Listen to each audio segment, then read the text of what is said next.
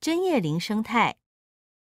台湾的针叶林带分布在海拔一千八百至三千五百公尺之间，其中冷杉林是台湾海拔最高的一种针叶林，也是最接近北极圈的一种寒带针叶林。从三六九山庄到雪山圈谷这片台湾冷杉林，是全台湾少数的冷杉纯林之一。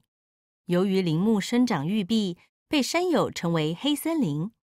而位于雪山主峰下方的翠池，是台湾最高的高山湖泊。翠池周围的玉山圆柏纯林，估计年龄已经超过两千岁。玉山圆柏在两百万年前的冰河时期来到台湾，能适应严苛的气候与地形环境，在迎风的山脊长成矮灌丛。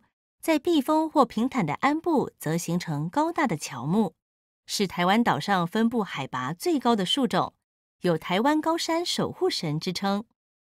其他常见的针叶林形态还有铁山林和松树林。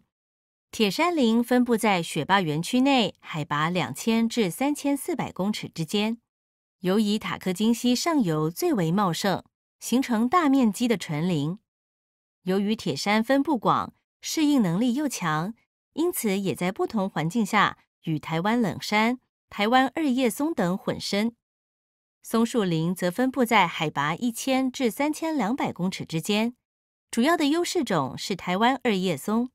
它们在不同的海拔高度以及不同的演替阶段，会与其他树种混生，如台湾冷杉、台湾铁杉、台湾黄杉、华山松、栓皮栎。高山栗等，台湾的山林距离都市不远，假日外出踏青就有机会亲近凉爽舒适的针叶林环境。